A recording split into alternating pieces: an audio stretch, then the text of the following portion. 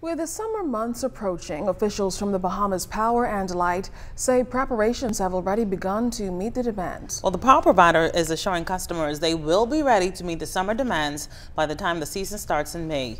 BPL's CEO, Pamela Hill, says the company's summer readiness program focuses on two areas, generation along with transmission and distribution. Our focus is those units that tend to be called on a lot because they tend to be the cheapest units to run. In other words, they burn fuel very efficiently. So we're in the midst of overhauling those units and working to have our overhaul work completed in May. Likewise, on the transmission and distribution front.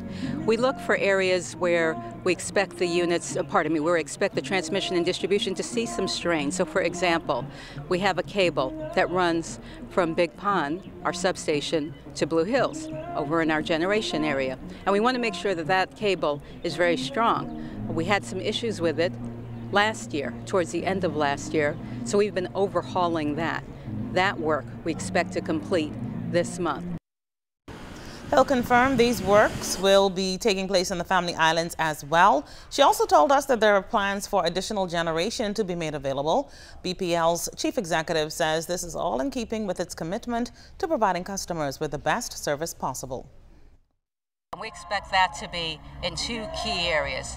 One will be on the solar front. So we are working to have solar taking our first step really uh, on a utility scale level to be a part of our generation fleet. We will start off in the Family Islands and we're working now to identify where that will occur.